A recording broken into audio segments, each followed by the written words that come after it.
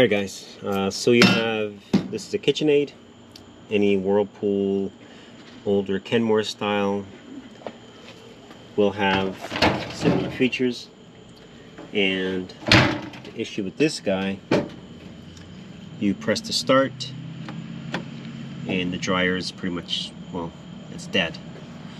So you press start, nothing. So I'm going to show you what to check. Uh, first thing is first, you want to also always make sure you check your breaker. And you can always check your plug. Make sure your outlet has the right voltage. You should from this one to this one you should be getting 240 volts okay? Well 240 230 238 230 whatever. It's a range so it just depends uh, what time it is. It will it will change from time to time. Um,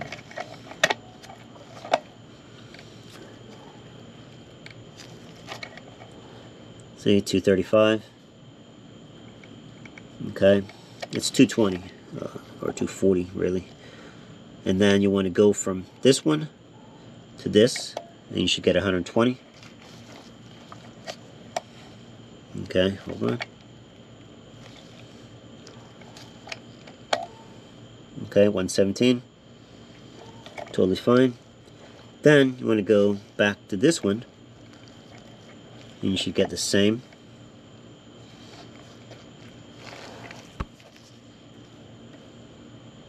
Okay. There's my leg there it is. So you want to make sure that you're getting proper voltage here before you go anywhere else so and in your case if you do not have a tester turn your breaker off all the way off and then back on some breakers will have single pull so when you first look at it, you might think it's not tripped, but it is. So always good practice all the way off, then back on. All right, so since our power is good here, we need to see what is going on with the dryer. So the first thing you want to do is open open the dryer. And up here you have a door switch. And if this door switch is bad you need to replace it. Um, let's say it's 8 o'clock at night you gotta get your clothes done or Sunday morning whatever. So I'll show you how to temporarily get your dryer going and also how to replace the switch. So let's access the switch.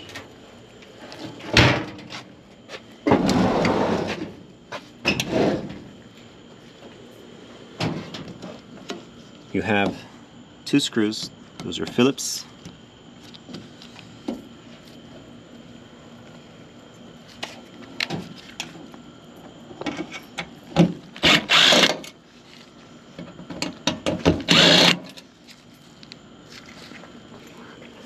Now to open this cover here, a couple ways of doing it. You can grab the back of the machine okay, and pull forward. Or you can just get a putty knife. Okay. You'll feel it. Just like that. And that's it.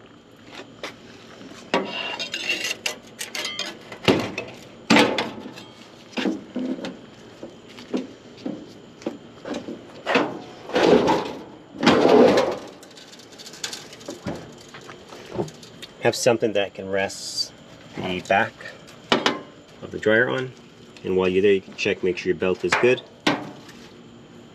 you don't have to open the machine up too much so we're dealing with this switch here.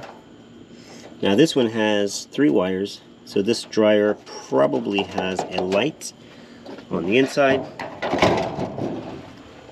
Yep right there in the center. So and this one does not have a light. So I'll have to get another switch for it.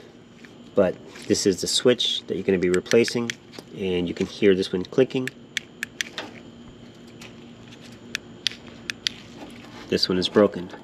So I'll have to change this switch but I'll show you how. For the video's sake I will be swapping it back out but I'm going to show you how to change this switch. And also how to bypass the switch temporarily so you will have a dryer to dry your clothes. Alright, so let's do that. Make sure the machine is unplugged, okay?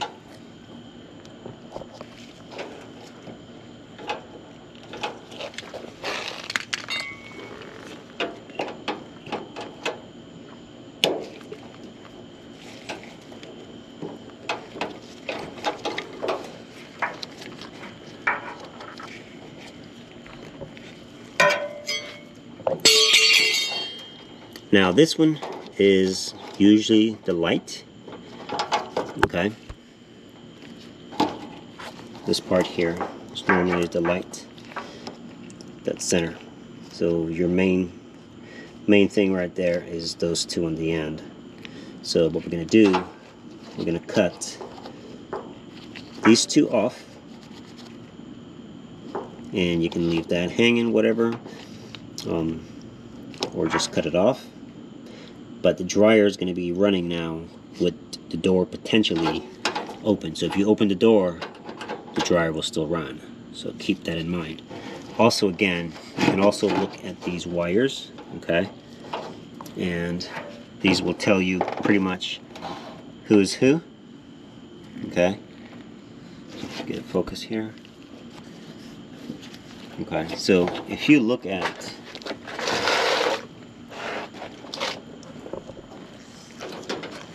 Okay, it goes in like that. Okay.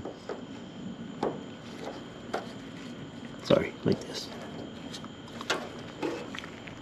Okay. Like I said, these two wires, not this one. Okay.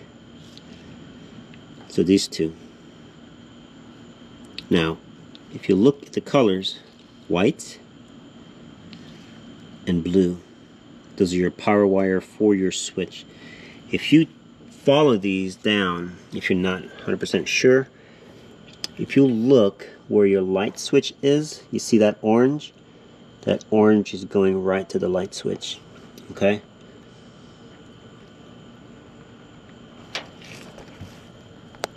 Give you some more light.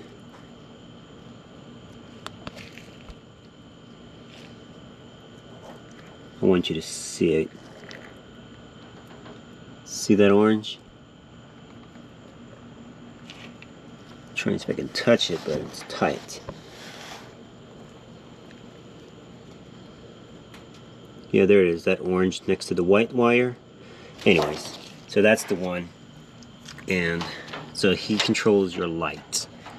So all you're gonna do now is cut cut it off from the switch and we're gonna put a zip we're gonna put a uh, wing nut wire nut and I'll show you how to change it as well so right now we can plug it back in, doesn't matter.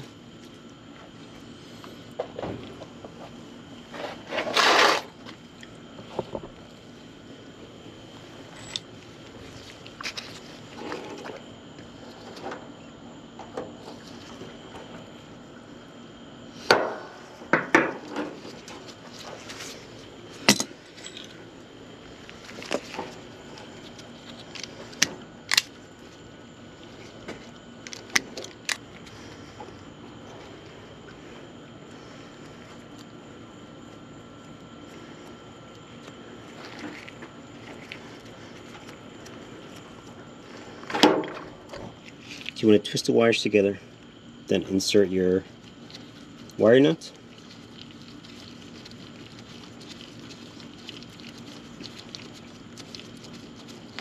Make sure you have a small enough wire nut, if not it's not going to fit. If you don't have a small, you can always bend the wire, making it larger, and try again.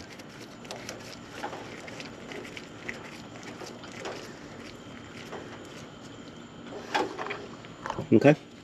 And once you're done okay you can technically disconnect this um, because the switch probably is not going to be working because the switch is bad but it's not going to hurt but you don't want anything touching.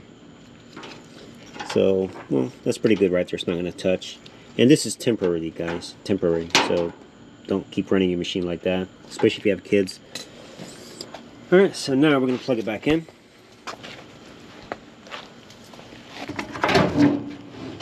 Alright so our switch will not work anymore. But the dryer should come on. So let's take a look. Wow whatever that was.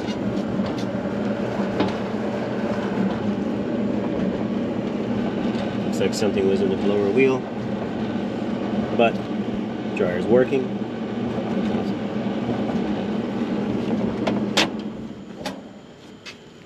and of course your dryer will work with the door open. In fact if I press start right now dryer will work. So be careful. Alright so now I'll show you how to replace the switch